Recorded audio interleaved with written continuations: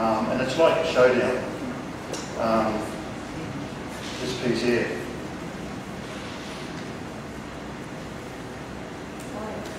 So, the Brisbane City Council, when it took possession of the showdown piece, it was a, like a dull, dusky pink. Um, and when it was restored, they found some of the original colours, uh, which then alerted them to the fact. So they went off and did a digital comparison to the original photos of day one when it was unveiled.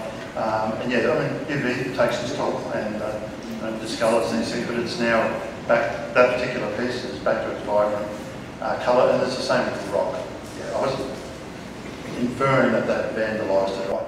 So, this is a photo of um, some art buster pieces, uh, which were thought to be from Exploradia, uh, that Stefan saved.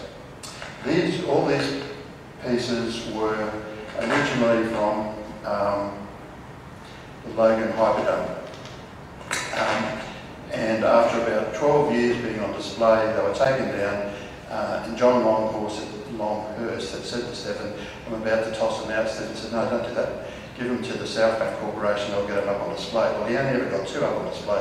They were sitting in Collins House for ages, went from Collins House when that property was sold uh, back in 2015, 16, uh, and went into a rail carriage over at uh, Roma Street, and that's where the Brisbane City Council found them and started to recast them, thinking they were from Expo 88, and then um, the error was discovered, and so we've changed the narrative to be in the spirit of Expo 88, because they are the same models who sat for these as to what sat for the Expo 88 uh, pieces. And in some cases, they are in very similar poses.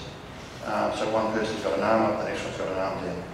Um, and, you know, thank you, Stefan, for saving those. Uh, and they are um, just, uh, you know, priceless bit of memory of Expo 88.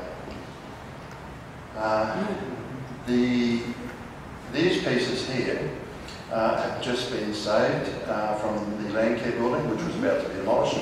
Um, got on the ABC, made a bit of a fuss. By the time we got off the radio, the Premier's Department had been on to the Brisbane City Council.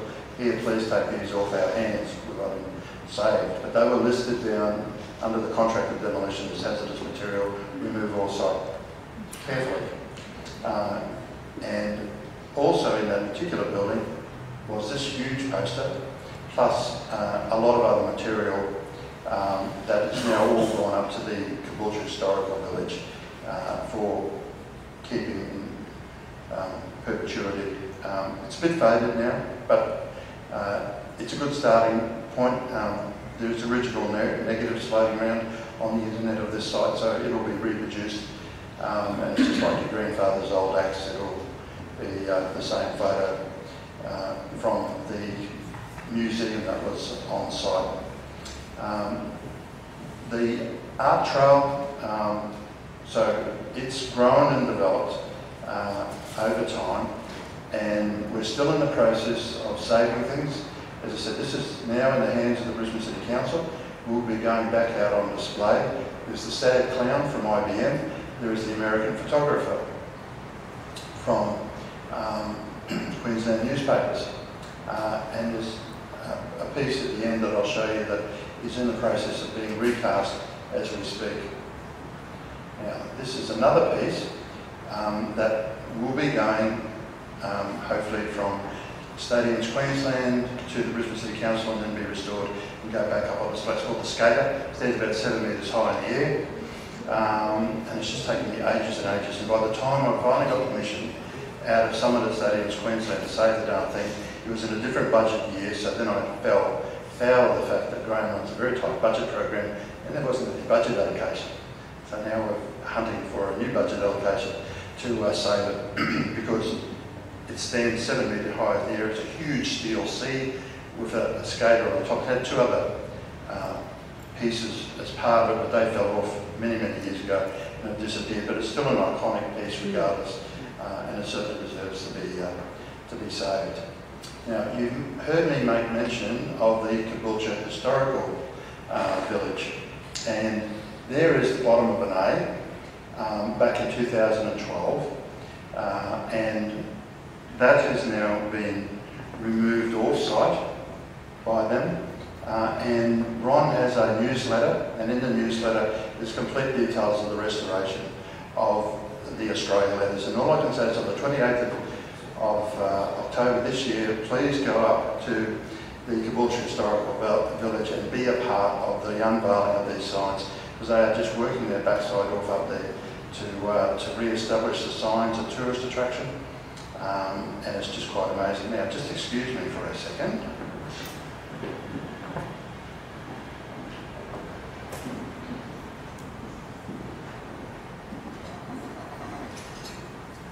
That look familiar? yes, that is that bottom. How's that?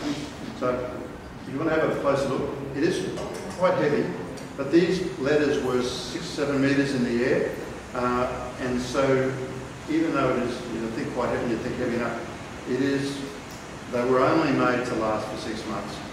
Uh, and it's been amazing that they've lasted in large part as much as they, they have, but it would be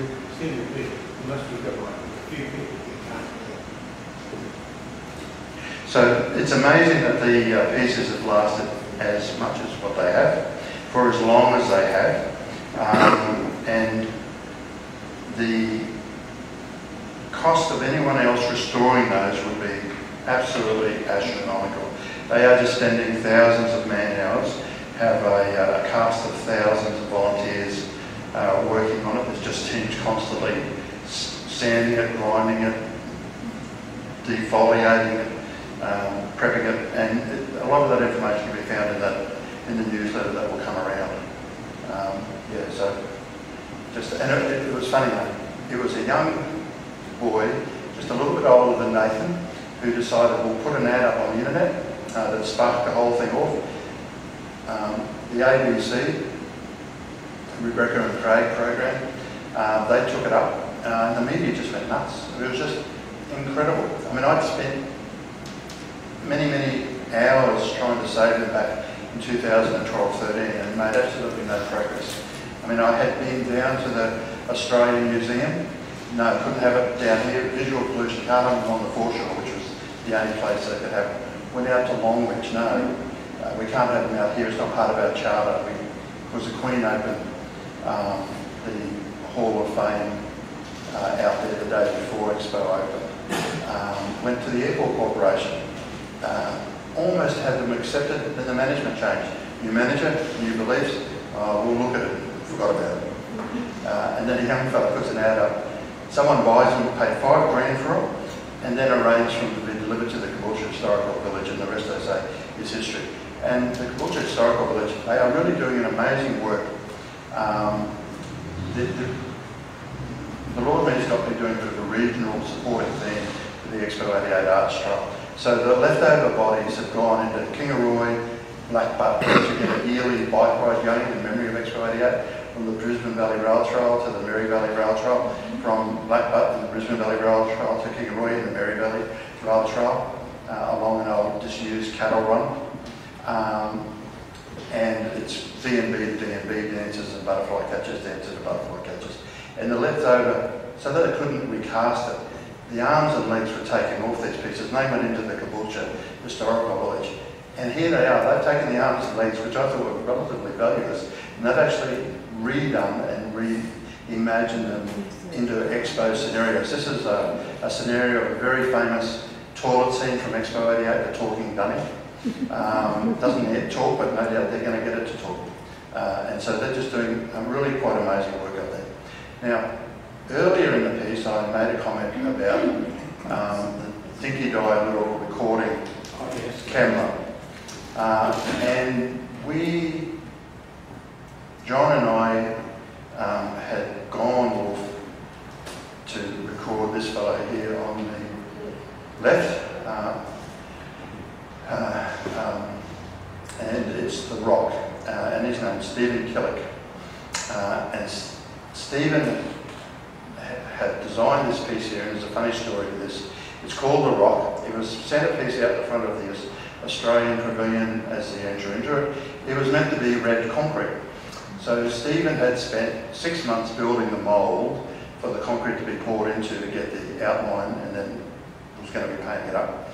Uh, and the cement trucks arrived on the day, paint, putting it in about half full, and he says, when are you going to add the red colour? And the concrete fella said, what red colour? This is grey concrete. He said, no, I ordered red concrete. Oh, sorry mate, but they dispatched grey. Well, how are we going to change the colour? We can't, it's grey. No, no, I want a red. No, it's grey. Filled it up, set, end of it. And he hated that piece. So after we did the interview, he's telling us this story, and then he says to us, he says, it was funny, you know, that it's still, uh, it's still here, this piece. He said, the Expo Authority asked me, what do I want done with the piece at the end of Expo? Because all these artists had the right of the super profit over the sale price. And so a lot of them took a great interest in what it was being sold for. Uh, and Stephen Killick's response was, you can bulldoze it into the effing river for all I care.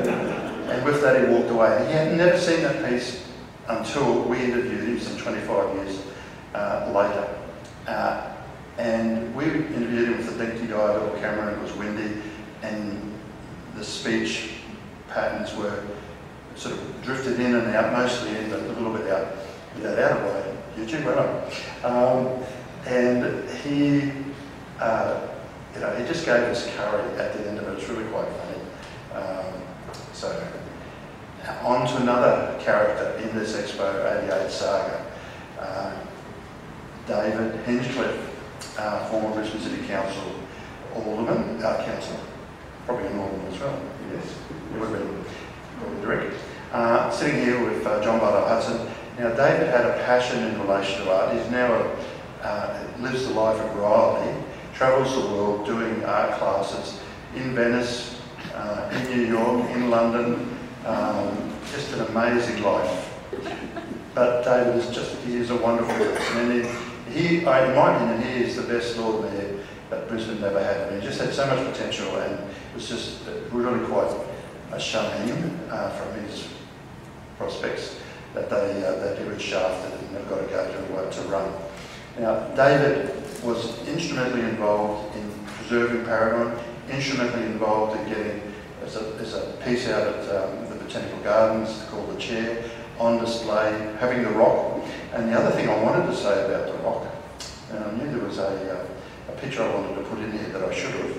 Um, for 25 years, that has stood in the um, uh, underneath the Story Bridge in Burke Park, and it's yeah, and it's never had a name. No one would never ever know what it was or where it came from. And I just and how John McGregor knew where it came from was more about the fact that he went to the park, looked at it, and thought, I know that. And then he went off and did the research uh, in um, in the Philip Bacon Gallery sculpture book to find out, well, yes, this is one and the same pieces. It actually look exactly the same because the council has recoloured and slightly reinterpreted the picture so they're a lot more vibrant now than what it was. It's also had anti-graffiti paint on it which has given it a great deal of depth whereas before it was just straight concrete.